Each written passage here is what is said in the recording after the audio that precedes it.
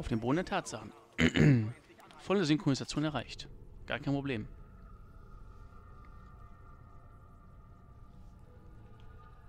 Ein Ziel erfassen.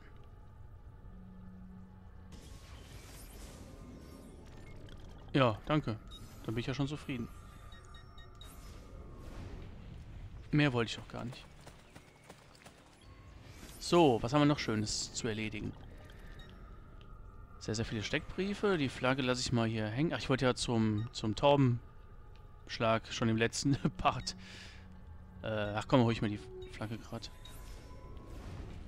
Stimmt, ich wollte Anfang des letzten Parts wollte ich schon zum Taubenschlag und meine meinen Assassinen-Rekruten Aufträge erteilen.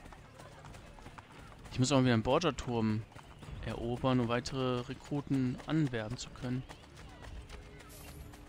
Ich kann echt nicht abschätzen, ich glaube, es ist auch jetzt zu diesem Zeitpunkt noch schwierig, wie lange das noch geht, das Spiel. Ob ich jetzt schon die Hälfte habe oder noch nicht ganz die Hälfte oder... Ich weiß es gar nicht, das ist echt schwierig. Man ist noch eine Menge zu erledigen und ich habe auch eine Menge noch vor, die nicht unbedingt wichtig ist, aber ich machen möchte. Bankett teilnehmen wurde erfolgreich abgeschlossen. Die Carlotta ist jetzt Stufe 2. Warnung überbringen. Annetta ist Stufe 3. Verräter verhandeln. Feind meines Feindes.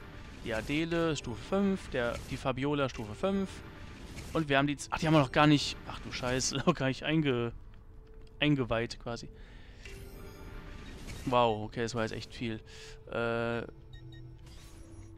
Rüstung natürlich.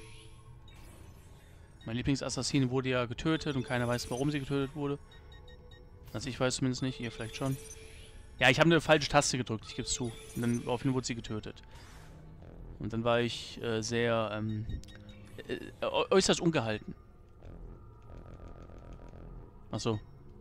Ich habe gerade Mission mit Auftrag verwechselt. Kann mal vorkommen.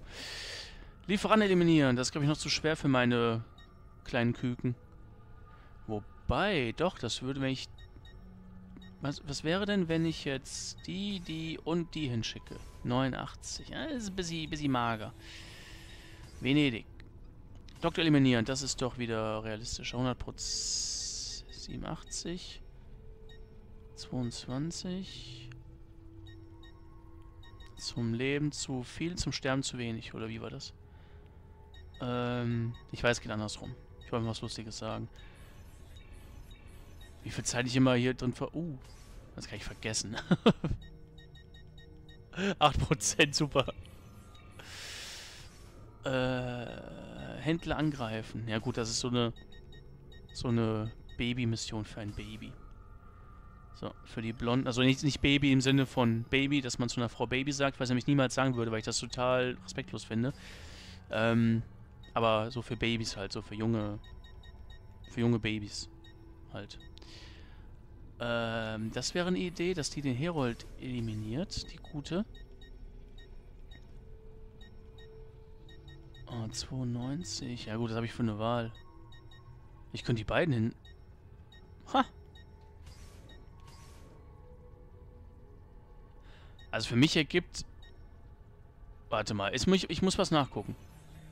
57 plus 42 ist für mich 99. Ich war nie gut im Rechnen.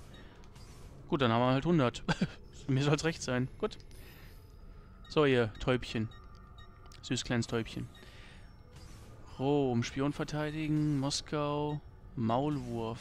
Das ist ein geiles Wort, ne? Maulwurf. Ich weiß nicht, was das bedeuten soll. Ich meine, das Tier an sich kenne ich, klar. Aber der Maulwurf. Das ist einfach... Hat das jetzt mit dem Wurf zu tun, wenn Tiere werfen? Oder ist das der Wurf? Also wenn jetzt jemand, wenn der Ezio eine, eine Klinge wirft. Was ist damit gemeint? Und warum Maul? Gut, das Maul ist schon recht groß von Maulwürfen, aber... Äh, 58... Nee, nee, nee, nee, nee, nee, nee, nee, nee. So spät wir gar nicht anfangen. Ich habe gerade Thorin gelesen, statt Thron. Aber ich laber so viel diesmal. Ähm, ich bin gut drauf. Lasst mich. Essen vergiften, das kann doch die... Kommt, ihr werdet jetzt zu dritt Essen vergiften. Du, du und du auch. Da. Und da habe ich noch Na gut, das kann ich dann vergessen. Dann wollte ich noch eine Dreier-Mission machen. Dreier. Äh, das ist nicht so eine Dreier-Mission, sondern eine andere Dreier-Mission. Okay, ich habe keine Dreier-Mission mehr. Das ist echt schlecht. Da, die Vorräte ausspähen, das können die doch zusammen. Na toll, Dreier ist zu wenig. Also, beziehungsweise 88 ist mir zu wenig. Ich bin da eher der vorsichtigere Typ. Aber ich kann nichts machen mit denen, toll. Gemeinsam kommen die auf 54. Ach, das ist mir, wie gesagt, 88 ist mir auch zu wenig. Was mache ich jetzt? Ich könnte eine Dreier-Mission... Ach, ich probiere es, komm. Hier, Orfeo, du... ne, ich mach's anders. Ich mach's anders. Und zwar macht das jetzt nämlich die an... Die Luciana macht das. 91, das dürfte eigentlich klappen. So, Maulwurf finden. Das macht die Annette. Und den Orfeo behalte ich mal in Reserve. Für schlechte Zeiten. Gut, haben wir das auch geklärt. Jetzt holen wir uns die Flagge. War das nicht die Flagge, die wir schon mal probiert haben zu holen? Habe ich recht oder habe ich Unrecht? Ich glaube, das war die, wo ich die These aufgestellt habe, dass wir da ein besonderes Ausrüstungsstück brauchen. Das, das war das, ja. Aber ich wäre nicht der Alex, wenn ich es nicht trotzdem wieder probieren würde.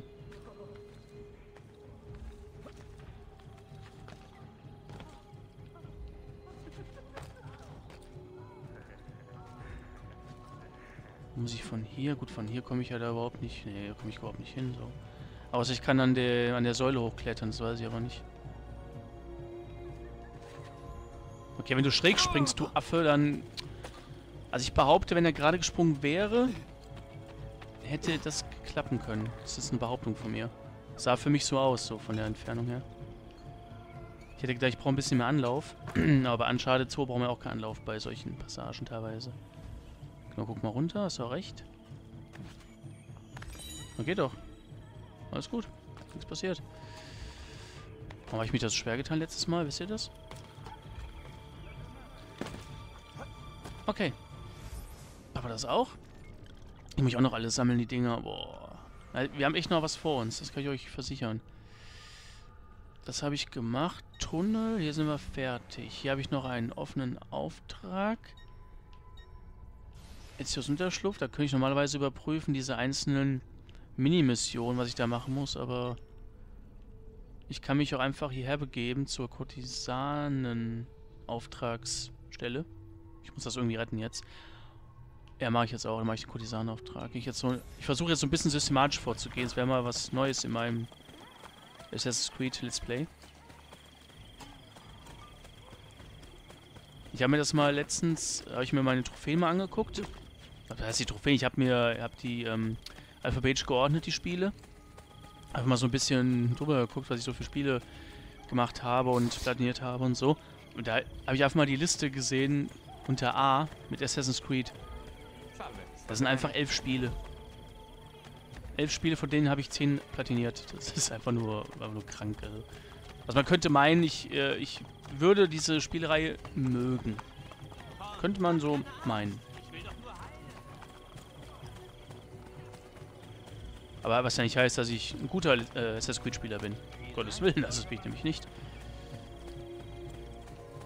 Ah, ja, es kommt drauf an. Ich glaube, da habe ich so... Jeder hat so seine Stärken und Schwächen, glaube ich, in dieser... In diesem Spiel. Ich bin jetzt zum Beispiel eher nicht so doll darin, wenn es darum geht, wirklich unterzutauchen und verdeckt zu bleiben. Das bin ich jetzt nicht. Ich bin eher der, der so ein bisschen Aufmerksamkeit erregt. Aber ich habe damals zum Beispiel, wo wir SS, also genau diesen Teil jetzt, ähm, online gespielt haben mit ein paar Leuten, um die Online-Trophäen halt zu boosten. Da kann man ja gucken in der Freundesliste, wer wie viele Kills am Stück hat. Diesen Trainingsmissionen. Wo, die wir auch nochmal uns anschauen werden. Also haben wir ja schon angeschaut, aber nochmal intensiver irgendwann. Okay, ich glaube, es war unnötig, weil ich das gemacht habe. Ne, war es nicht. Ich rede kurz mit der.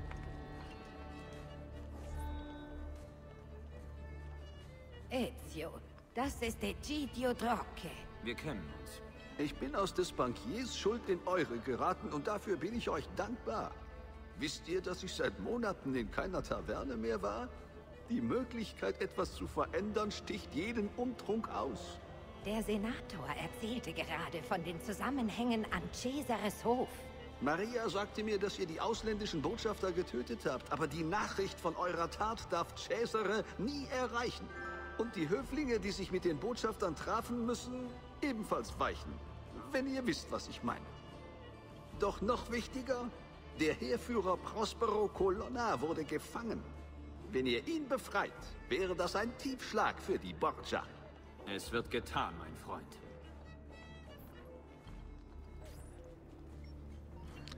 Okay, also Miller Blackfin gefällt äh, eine Aktivität von mir. Ich habe es eigentlich alles, dachte ich zumindest, deaktiviert, aber das habe ich nicht deaktiviert. Weil sonst gefällt nie irgendeinem, was ich tue, aber gut. Also zumindest jetzt hier bei Playstation. Ähm, also ich muss mal ein paar Kurtisanen einsetzen. Ich muss gegnerisch untertauchen der Menge entkommen. Gut, Armbrust, die habe ich noch nicht. Okay, Leute im Brunnen. Ach, die Leichen verstecken. Okay, Wachen vergiftet.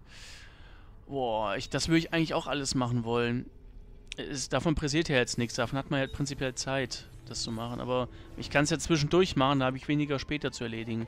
Da brauche ich am besten irgendwie so eine, so eine Checkliste oder so. Müsste ich mir irgendwie mal was hierhin machen. Keine Ahnung. Was ausdrucken oder so. Weil es ist ja nicht nur... Ach, er wieder. Nein, ich werde ihn nicht anrempeln. Mache ich nicht. Ähm... Weil es gibt ja auch von den Söldnern und von den Dieben gibt es ja auch diese Missionen. Und ja. Es würde dann nicht weniger, wenn man... Okay, das irritiert mich gerade extremst. Würde nicht weniger, wenn man dann die alle sich so merken muss. So. Ich wollte was von Annabelle 2 erzählen. und gerade habe ich auch irgendwas damit nicht auf so vergessen.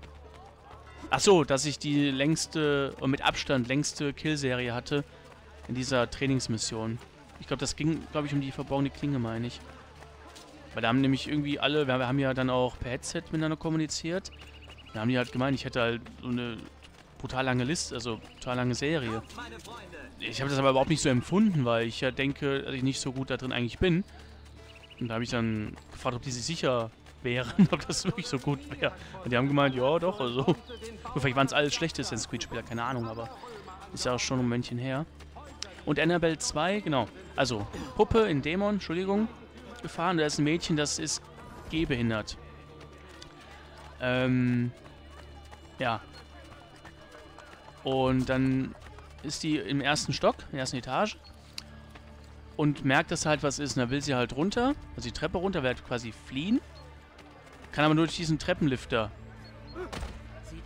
ähm, die Treppe benutzen, weil sie halt wie gesagt gehbehindert ist. Das geht sonst nicht. Und dann fährt er mit dem Treppenlifter halt runter. Das Ding ist halt wirklich sau langsam.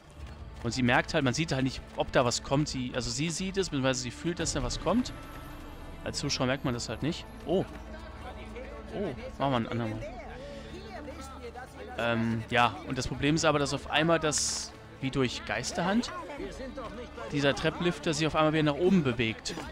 Und sie kann einfach nichts machen. sie sitzt einfach da drauf und hat einfach panische Angst und drückt da ganz wild auf diese, diesem, diesem Hebel da rum, dass, der, dass das Ding wieder nach oben fährt. Das, es macht es einfach nicht.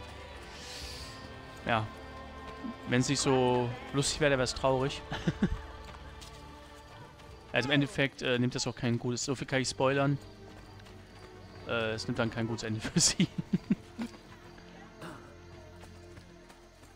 Das ist eh ein ziemlich düsterer... Hat er eigentlich ein Happy End? Weiß ich gar nicht. Ein sehr düsterer Film. Ich mag den Film auch, muss ich sagen. Der erste Teil fand ich echt blöd. Warte mal, warte mal, warte mal. Fahr ich, bin ich überhaupt hier gerade richtig? Was mache ich hier? Ist doch richtig, oder?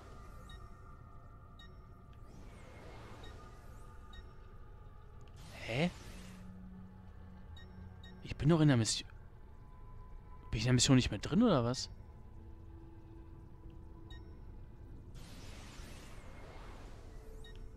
Verstehe das gerade überhaupt nicht, ne? Ich ich hätte... Ich war gerade in der Mission drin. Okay, ich habe es mir nicht verstanden. Ja, ist egal. Wenn wir mal hier sind. Ins Mond finde ich deutlich besser. Ist ja vom... Stammt ja vom Conjuring-Universum ab. Ich muss noch auf den Nun gucken. Da bin ich mal gespannt. Ich habe nicht unbedingt nur Gutes über diesen Film gehört und gelesen. Ja, und Conjuring sind beide Filme wirklich, finde ich beide gut. Also den zweiten noch ein bisschen besser als den ersten. Ezio, der Papst hat von unserer Arbeit erfahren. Er bereitet einen Kurier in die Romagna vor. Wenn Cesare ahnt, dass seine Anhänger ihm den Rücken kehren, besetzt er die Stadt mit Truppen. Nehmt dem Kurier den Brief unbemerkt ab. Bringt ihn mir und ich fertige eine Fälschung an. Wir sorgen dafür, dass Cesare seinen Bericht erhält.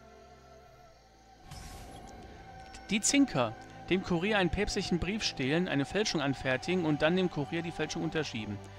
Die Mission in weniger als 2 Minuten 20 Sekunden. Oh, ich hasse Zeitlimit. Ich hasse es.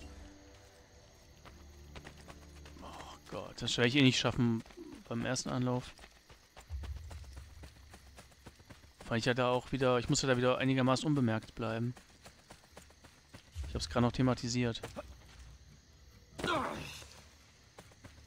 Boah, so ein Pferd wäre eigentlich geil, ne? ich probiere es einfach ohne Pferd. Ich weiß nicht, wie weit der Typ weg ist. Ich muss eh neu spielen, ich weiß das.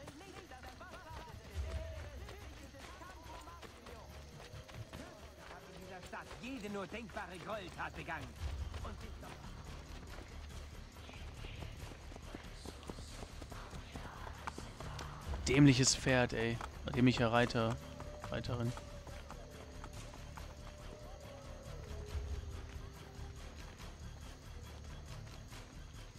Wieso? Alles gut. Pferd rufen. Ach, die ist da vorne schon. Dann kann man es doch schaffen, ohne Pferd. Warte mal. Wie kommst du denn hierher? Du bist schneller als ich. Bene, damit kann ich arbeiten. Gebt mir einen Moment. Ja, mach hin. Ich habe nur 220 Zeit.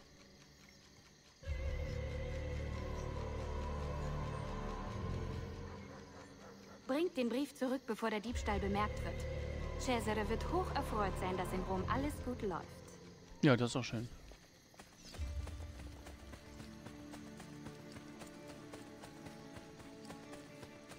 Okay, ohne Pferd kann man das glaube ich nicht schaffen. Ich habe vergessen, wie viel ich am Anfang hatte an Zeit.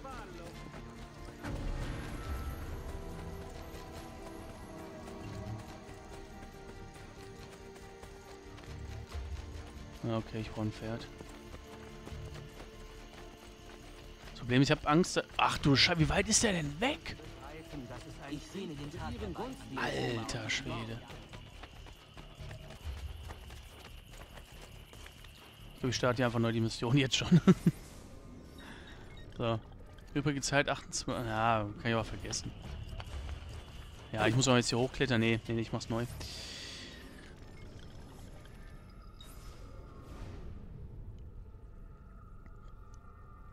Na gut, 2,20, dann könnte ich das eigentlich noch in diesem Part machen. Ich hab Hunger.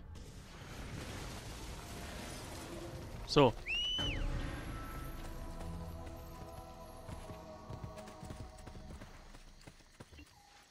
So, Pferdchen. Schattenfeld, zeig uns, was Eile heißt. Was zur... Pferdchen. Du blöder... Ich wollte gerade sagen, blödes Kamel, das ist ja ein Pferd. So, komm. Komm schon. Okay. ja, ich hätte erst runter, äh, nein, runterklettern müssen. Das hätte vielleicht Sinn ergeben, ja, ich weiß. Aber meine Let's Plays sind nicht gerade mit Sinnhaftigkeiten gespickt. So, also.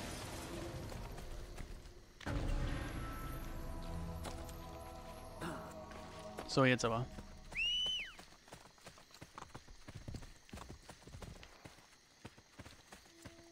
Ey, du, oh, wieso kommt das Ei? Danke.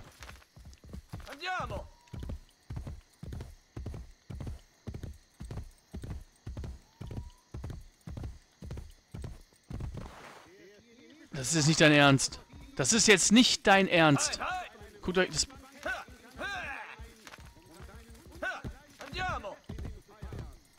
Also es, es war dem, dem Pferd sein Ernst. Aber...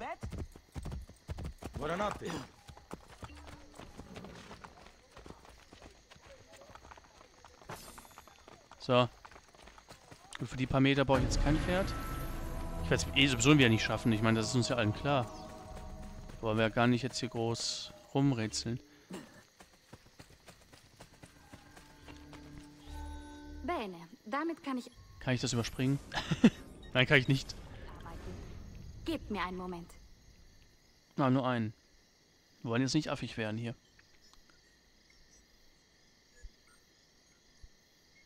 Bringt den Brief zurück, bevor der Diebstahl bemerkt wird. Cesare wird hoch erfreut sein, dass in Rom alles gut läuft. Ey, logisch. So, da ist doch gerade schon ein Pferd. Ich meine, das ist einfach ein größerer Wink und einen größeren Wink kann es nicht geben, als dass das Pferd da schon wirklich steht. Die Frage ist natürlich jetzt nur...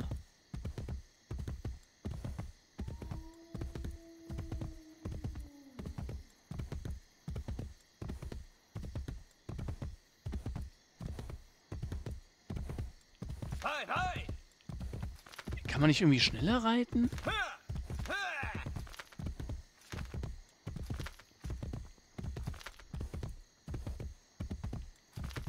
Ne, ich glaube nicht. Ah!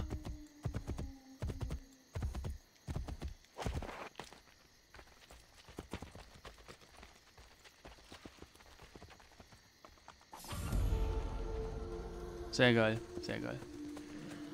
Sehr, sehr geil. Gut, dann gehe ich jetzt zum anderen Ort und werde den Part beenden. Äh, nein. Das muss ich auch noch machen, diese, diese, diese Subjekt-Dinger. Oh, Hauptmission können wir eigentlich direkt starten. Ah, machen wir gerade, komm. Kostet ja nichts. Wo ist das? Okay, das zu markieren war so unnötig, ne?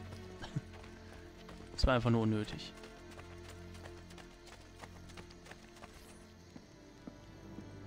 Da? Ich grüße euch auch. Ezio! Ich hatte mein Weib erwartet. Irgendwie überrascht mich das nicht. Die verfluchten Franzosen setzen uns zu. Erzählt mir vom General, diesem Baron de Valois.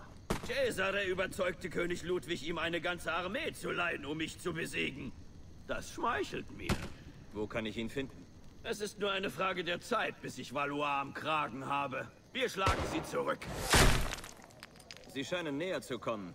Wir haben hier alles unter Kontrolle. Schließt die Tore! Bene, vielleicht könnte ich etwas Hilfe gebrauchen. Die drei Tore in die Kaserne herablassen. In die? In der? Hm. Äh, um zu verhindern, dass die französischen Truppen die Kaserne erobern. Keinen Schaden nehmen. ja, genau.